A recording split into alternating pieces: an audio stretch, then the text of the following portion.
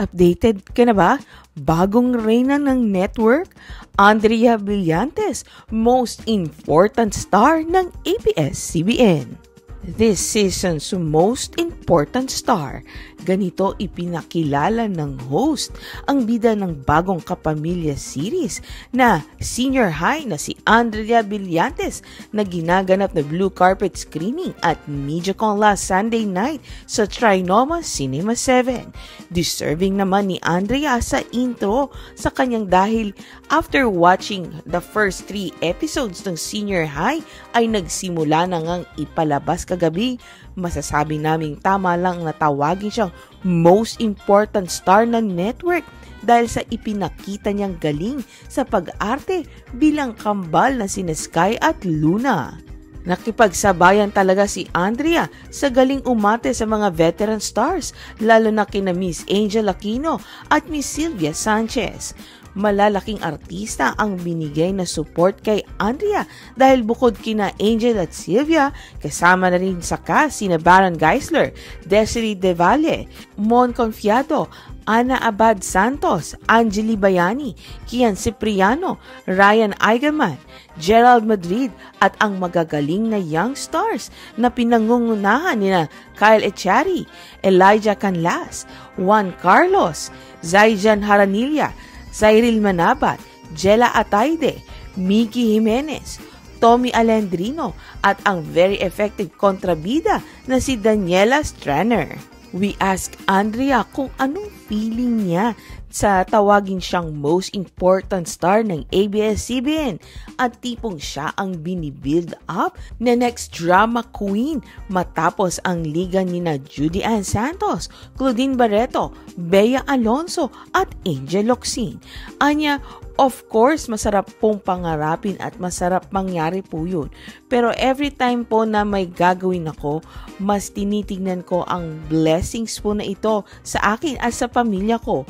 Bilang breadwinner po ako hanggang ngayon. Hindi raw niya iniisip kung magiging reyna siya ng kapamilya. Ang gusto lang daw niya ay umarte at ibigay ang best niya sa lahat na pinagkakatiwala sa kanyang proyekto ng network dahil 3 years old pa lang siya passion na raw na talaga ang umarte. Samantala, bilang mga veteran na sa industry, hiningaan namin sina Miss Angel at Miss Sylvia ng words of wisdom para kay Andrea sa magiging gabay nito sa journey niya sa kanyang showbiz career.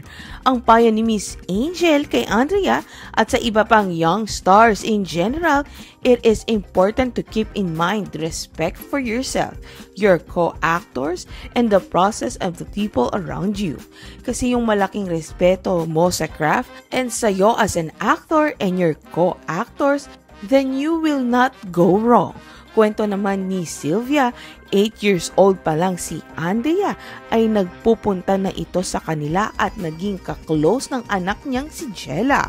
Nakasama kasi noon ni Andrea si Arjo Ataide sa seryeng E-Boy at may pamilya Ataide na rin ang maging karamay si Blith, real name ni Andrea, sa lowest point ng buhay niya. Kaya ang payo ni Miss Sylvia kay Andrea, maging matapang ka sa mundong ito kasi walang ibang tutulong sa iyo kundi ang sarili mo. Iiyak lang sa Diyos kung anumang pasakit sa iyo. Ang bashers, huwag mong intindihin. Wala silang kwenta sa buhay natin. Dagdag pa ng magaling na aktres at nanay-nanayan na rin ni Andrea Basta focus, be professional. Huwag kang maging mayabang na si Andrea ako. Ako yung sinasabing next superstar. Kasi pag once na inisip mo yun, nak, na ako yung pinakasikat at ako yung magaling, start yun ng downfall mo. Kaya be humble, be professional, respect everyone. Tuloy-tuloy mo lang yan. Napakaswerte naman ni Andrea, hindi lang dahil sa op- mga opportunities na binibigay sa kanya ng ABS-CBN, kundi dahil nakatagpo siya ng mga taong totoong nagmamahal at nagkikare sa kanya at matatakbuhan niya anumang oras na kailangan niya. tulad nga ng pamilya ni Miss Sylvia Sanchez. Anyway, mula sa direksyon ni na Onat Diaz at Andoy Ranay, nagsimula ng mapapanood ang senior high kagabi, August 28 at 9.30pm sa Kapamilya Channel, Kapamilya Online Live, A to Z, TV5, I1 TFC at TFC. Pilipinas, updated ka na ba? Bagong reyna ng network, Andrea Brillantes, most important star ng ABS-CBN.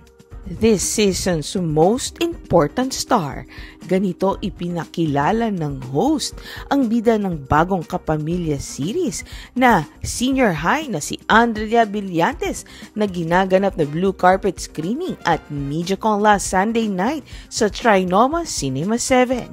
Deserving naman ni Andrea sa intro sa kanyang dahil after watching the first three episodes ng senior high ay nagsimula na ngang ipalabas kagabi, masasabi naming tama lang na tawagin siyang most important star ng network dahil sa ipinakita niyang galing sa pag-arte bilang kambal na sina Sky at Luna. Nakipagsabayan talaga si Andrea sa galing umate sa mga veteran stars, lalo na kina Miss Angel Aquino at Miss Sylvia Sanchez malalaking artista ang binigay na support kay Andrea. Dahil bukod kina Angel at Sylvia, kasama na rin sa cast sina Baron Geisler, Desiree De Valle, Mon Confiado, Ana Abad Santos, Angeli Bayani, Kian Cipriano, Ryan Eigenman, Gerald Madrid at ang magagaling na young stars na pinangungunahan ni na Kyle Echari, Elijah Canlas, Juan Carlos, Zaijan Haranilla, Cyril Manabat, Jella Ataide, Miki Jimenez, Tommy Alendrino at ang very effective kontrabida na si Daniela Stranner. We ask Andrea kung anong feeling niya sa tawagin siyang most important star ng ABS-CBN at tipong siya ang binibuild up na next drama queen matapos ang liga ni na Judy Ann Santos, Claudine Barreto, Bea Alonso at Angel Locsin. Anya, Of course, masarap pong pangarapin at masarap mangyari po yun. Pero every time po na may gagawin ako, mas tinitignan ko ang blessings po na ito sa akin at sa pamilya ko. Bilang breadwinner po ako hanggang ngayon. Hindi raw niya iniisip kung magiging reyna siya ng kapamilya. Ang gusto lang daw niya ay umarte at ibigay ang best niya sa lahat na pinagkakatiwala sa kanyang proyekto ng network dahil 3 years old pa lang siya, passion na raw na talaga ang umarte. Samantala, bilang mga veteran na sa industry, hiningaan namin sina Miss Angel at Miss Sylvia ng words of wisdom para kay Andrea sa magiging gabay nito sa journey niya sa kanyang showbiz career. Ang payo ni Miss Angel kay Andrea at sa iba pang young stars in general, it is important to keep in mind respect for yourself, your co-actors, and the process of the people around you. Kasi yung malaking respeto mo sa craft and sa'yo as an actor and your co-actors, then you will not go wrong. Kwento naman ni Sylvia, 8 years old pa lang si Andrea ay nagpupunta na ito sa kanila at naging kaklose ng anak niyang si Jella. Nakasama kasi noon ni Andrea si Arjo Ataide sa seryeng E-Boy at may pamilya Ataide na rin ang maging karamay si Blith, real name ni Andrea, sa lowest point ng buhay niya. Kaya ang payo ni Miss Sylvia kay Andrea, maging matapang ka sa mundong ito kasi walang ibang tutulong sa iyo kundi ang sarili mo. Iiyak lang sa Diyos kung anumang pasakit sa iyo. Ang bashers, huwag mong intindihin. Wala silang kwenta sa buhay natin. Dagdag pa ng magaling na aktres at nanay-nanayan na rin ni Andrea Basta focus, be professional. Huwag kang maging mayabang na si Andrea ako. Ako yung sinasabing next superstar. Kasi pag once na inisip mo yun, nak, na ako yung pinakasikat at ako yung magaling, start yun ng downfall mo. Kaya be humble, be professional, respect everyone. Tuloy-tuloy mo lang yan. Napakaswerte naman ni Andrea, hindi lang dahil sa op- mga opportunities na binibigay sa kanya ng ABS-CBN, kundi dahil nakatagpo siya ng mga taong totoong nagmamahal at nagkikare sa kanya at matatakbuhan niya anumang oras na kailangan niya, tulad nga ng pamilya ni Miss Sylvia Sanchez. Anyway, mula sa direksyon ni na Onat Diaz at Andoy Ranay, nagsimula ng mapapanood ang senior high kagabi, August 28 at 9.30pm sa Kapamilya Channel, Kapamilya Online Live, A to Z, TV5, I Want TFC at TFC.